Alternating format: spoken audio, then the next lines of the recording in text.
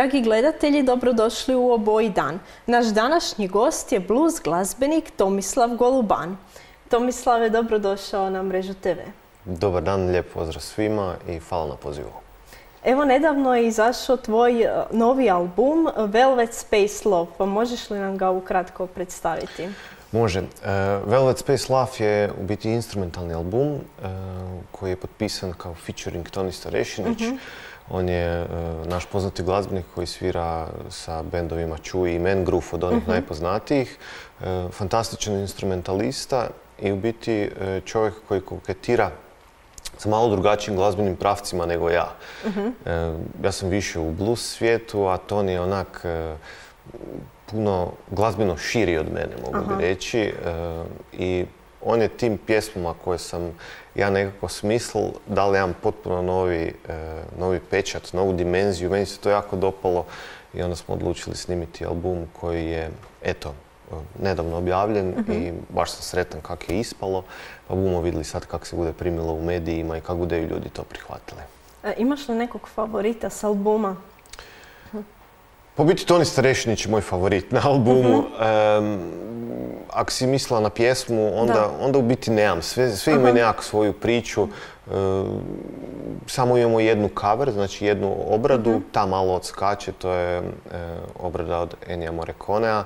E, i e, zove se Man with Harmonica. To je iz onog poznatog soundtracka.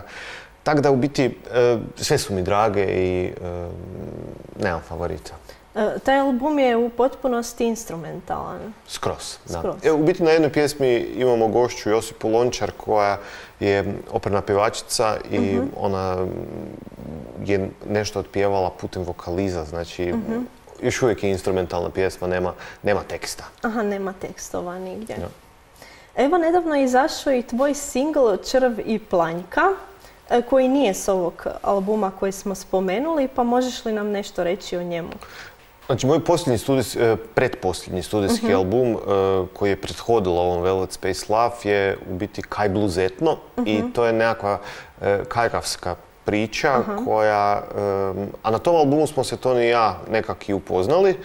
On je prvo snimao par pjesama za taj album i dok smo čekali da se ovaj novi album Velvet Space Love objavi i da izađe, u tom međuvremenu sam ja snimil spot za Červi mhm. planjku, pa možemo reći da je to posljednji singl s prethodnog albuma. I u toj pjesmi je na vokalu gostoval Adalbert Turner Juci, mhm. koji je to super onako pjevao sa svojim poznatim basom. Eh, tekst pjesme je napisal Joža Gajski i jako mi je simpatičan jer progovara o nekakve su dvije paralelne radnje između muškarca i žene, između črva i planjke. Mhm. Za sve vas koji ne kužite ili ne baratate baš dovoljno sa zagorskim, črv je crv, mhm. a planjka je nekakav komad drveta, pa mhm. onda taj crvić gricka drvenu gredu, a Joža se zabavlja sa barom u kući i tak. To je jedna simpatična, simpatična radnja i u biti je nekakva smiješna pjesma mhm. za, za opuštanje. A bomo vidjeli kako se bu ljudima dopala opet. Ima i zanimljiv prateći video spot sa crvom. da, e, nekakva luda kombinacija. Razmišljali smo da bi radili animirani spot, da bi igrani spot radili, kakav bi spot napravili, onda e, se do Ringo super sjetili, napravili spot sa u biti igračkicama i mhm. super simpatično ispalo. Poslušajmo sada single Črv i planjka.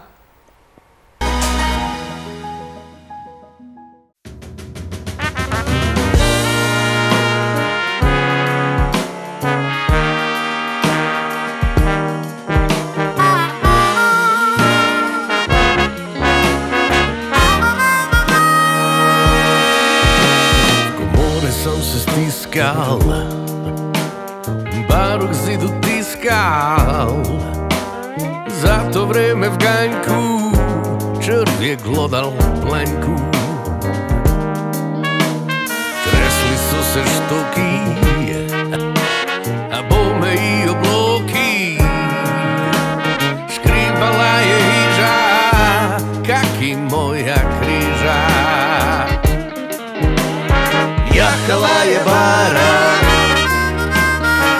Hiža mi stara. Preveć je tu greha U klabu i streha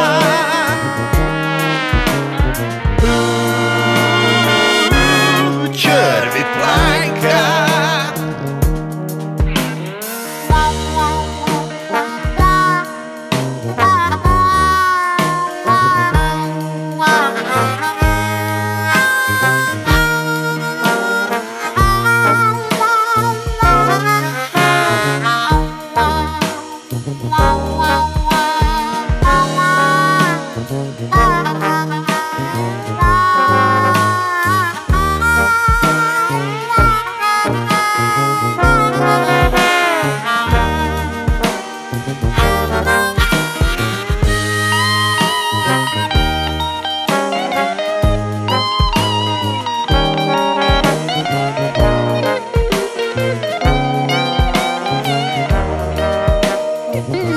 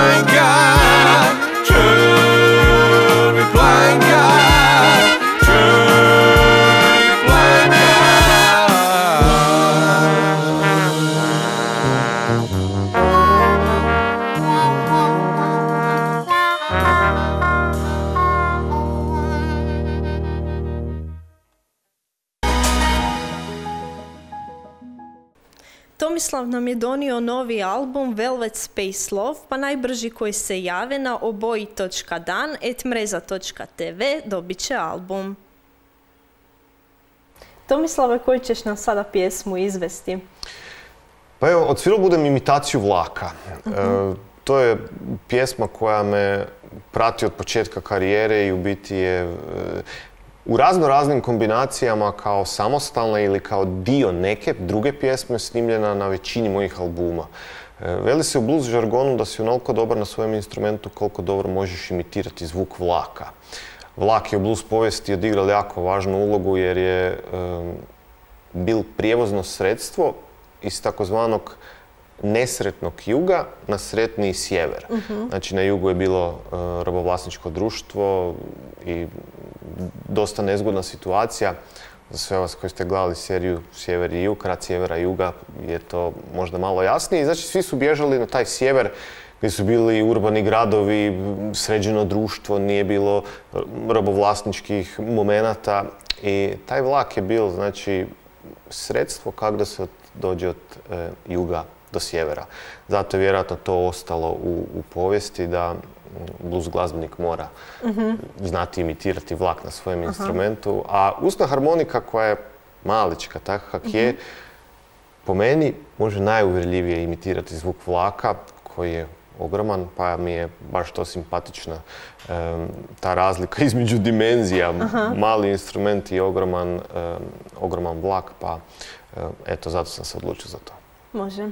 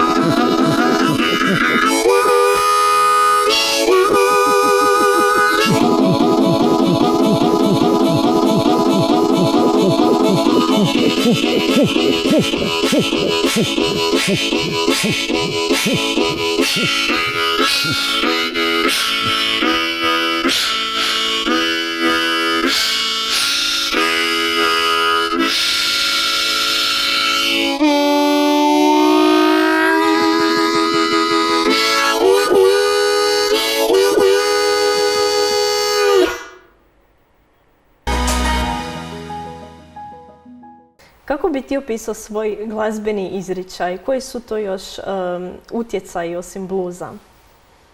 Možda bi bilo naj, najbolje opisati moj glazbeni izričaj kao vrlo šaren. E, moja diskografija sadrži devet studijskih albuma, Velvet Space Love je zadnji, znači deveti. E, I kad malo to pogledam i poslušam, zbilja tu ima svega.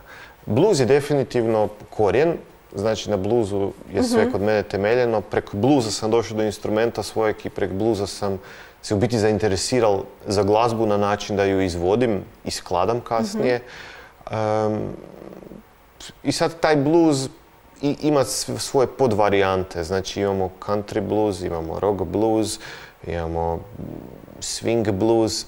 I To bi sve se moglo naći u, u mojem glazbenom izričaju. A možda naj, najvažnija stavka koja se proteže kroz tu diskografiju je taj nekakav zagorski izričaj koji, e, uopće ne znam kako bi ga nazvao, možda etno glazba, ko- koliko je to sad, koliko nije. E, kad radimo hrvatsku, e, hrvatsku pjesmu ili znači pjesmu gdje pjevamo na e, kajkavskom, u načelu glazbeno gledajući je to da to i dalje blues, ali ti zagorski elementi opet daju tu nekakvu world ili etno dimenziju. Ja to pričam, tak su to napisali u inozemnoj štampi, pa valjda oni znaju. E, ja u biti kad radim pjesme ne razmišljam o tome u, koju žanrovsku ladicu bi se to trebalo staviti. Zato i imamo jako puno problema sa ovim zadnjim albumom, jer jo- još ga niko nije uspio klasificirati kam da se to stavi, osim da je to instrumentalna glazba. Ali kakva je instrumentalna glazba, nemaju pojma. E, Toni i ja smo se odlučili da to bude svemirski blues, to jest space blues, ali ta kategorija ne postoji. Da. Tako da u biti mi je to dosta teško pitanje u, kojem sam žanru osim bluza, ali velim, volim, volim koketirati sa različitim glazbenim pravcima, koliko mi to moje glazbeno znanje dozvoljava. A, e, a u biti sve ovisi s kakvim sam glazbenicima tog momenta okružen. Da, da. I kakav je gost došao kod mene svirati ili možda da li sam ja kao gost kod nekoga otišao svirati. Pa u biti pokušavam se snaći u, u svim glazbenim oblicima, e, možda jedino klasika još dio gdje se nisam okušal, pa eto, možda jednog dana i to. E, Poznat si po sviranju usne harmonike, pa kako, kada i zašto si se baš odlučio za taj glazbeni instrument? Do usne harmonike sam došao u biti slučajno. E, tijekom cijelog svojeg života, znači u, e, dok sam bil klinac, sam već počeo slušati singlice, pa onda long play ploče, pa kazete, pa e, CD. I možemo reći da sam bil cijelo vrijeme diskofil. Znači čovjek koji je volio glazbu, koji je kupovao glazbu i koji je jako puno slušao.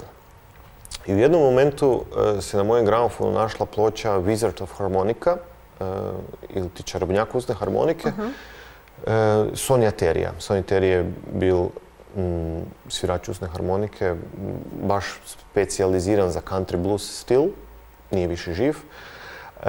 I kad sam ja stavio tu ploču, ja nisam imao pojma kaj blues je, ali sam ja na toj e, ploči prepoznao zvukove koje je on imitiral na usnoj harmonici, a to je bil e, između ostalih i zvuk vlaka. I to mi se jako dopalo jer sam u biti odmah skužil kaj taj umjetnik hoće reći sa svojom glazbom i sa svojim instrumentom, a da nisam imao pojma o, o toj glazbi, nisam imao nikak- nikakvu podlogu za to. I onda sam jednostavno to počeo malo bolje e, slušati i proučavati. U to vrijeme nije bilo još interneta u mojoj kući, tako da sam do većine informacija jako teško dolazil i onda sam e, vidio u dućanu usnu harmoniku na kojoj je pisalo blues harp. Ova prva riječ blues mi je nekak bila poveznica da bi to možda moglo biti ono koje sam ja na ploči slušal i tako sam kupio usnu harmoniku. E, tek sam nakon jedno par godina sviranja usne harmonike, kad sam došao do svojeg pokojnog dede e, u kuću i sad on veli, čuj sinek, čul sam da sviraš usnu harmoniku, možeš mi dati jednu koja ti ne treba. Ja rekao, deda, pa kaj će tebi usna harmonika? Velim, pa ja sam ko mlad sviral na polju dok sam bil na paši s kravama usnu harmoniku i to je bilo super u to vrijeme jer nismo imali niti mobitele, niti sva čuda tehnologije Da, da, da. koje danas imamo, tako da onaj koji je svirao usnu harmoniku je bil veliki frajer, možemo se tako reći. I bome ja donesel usnu harmoniku, dal dedi, deda je imao fantastičnu tehniku sviranja koja je jako slična ovoj bluzerskoj tehnici, zove se tongue blocking ili blokiranje s jezikom, E, znači stvaranje više tih e, perkusivnih ritmova dok sviraš melodiju, što je nekak i logično. Jer je u ono vrijeme usna harmonika bila poticaj za ples E, i ljudi su se zabavljali kroz tu glazbu. tako da možda ima nešto i u genima, osim ovog mojeg e, fanatičnog proučavanja blues glazbe, možda ima neke velim i u, Da, da. u krvi.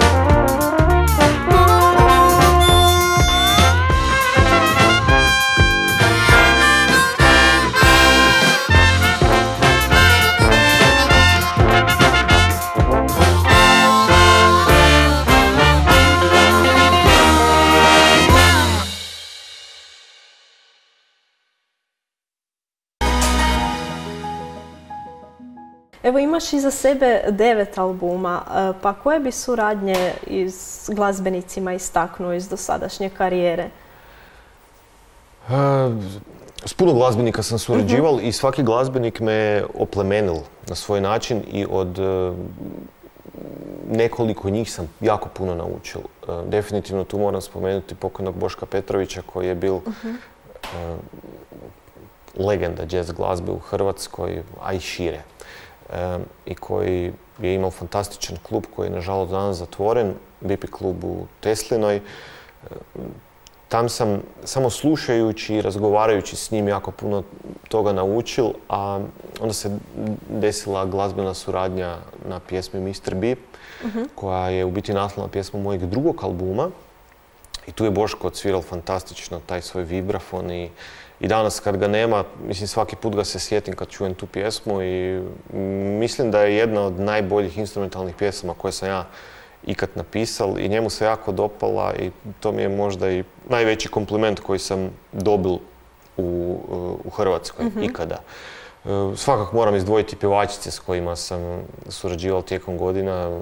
Tamara Obrovac koja je fantastičan pedagog, isto mi je jako puno e, pomogla i naučila me. Legendarna Zdenka, Zdenka Kovačićek, uh, ta, ta žena ima energije, nevjerojatno koliko puno fantastična pjevačica i super kolegica. Lela Kaplović, Singrlice, um, Hana Hegedušić, Ksenija Erker.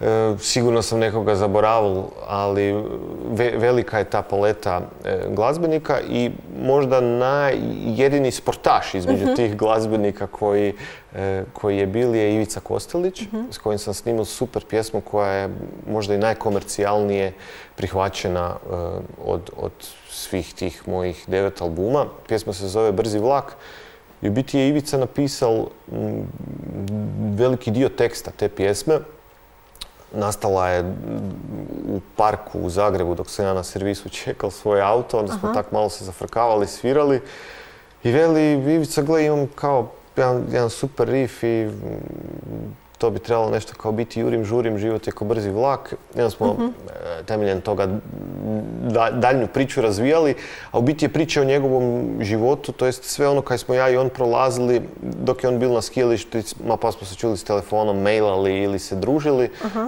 baš jedna putopisna priča o njegovom životu, možemo tak reći, dok, dok je još bil e, aktivan sportaš. Ivica inače, osim kaj znamo da je sportaš, vrhunski sportaš, on je zbilja dobar gitarista, dobar instrumentalista, vrhunski, bluzer, pjevač, izvrsno. Jedan od rijetkih ljudi koji, koji meni može reći nekog bluzera kojeg ja nisam čul.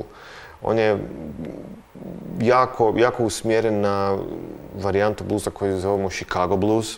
Znači to je el- električna varijanta bluza koji se počne razvijati tijekom 50-ih, možda malo ranije, ali okej. E, jako voli rock and roll, stari rock and roll tipa Elvisa, Jerry Lewisa, Lil Richarda i veliki je poznavatelj dobre kvalitetne rock and roll glazbe, tako da mi je svaki put e, simpatično i zanimljivo se s njim podružiti, iako ne sviramo, ali zbilja je čovjek enciklopedija glazbe koja mene zanima. E, Poslušajmo sada pjesmu Brzi vlak.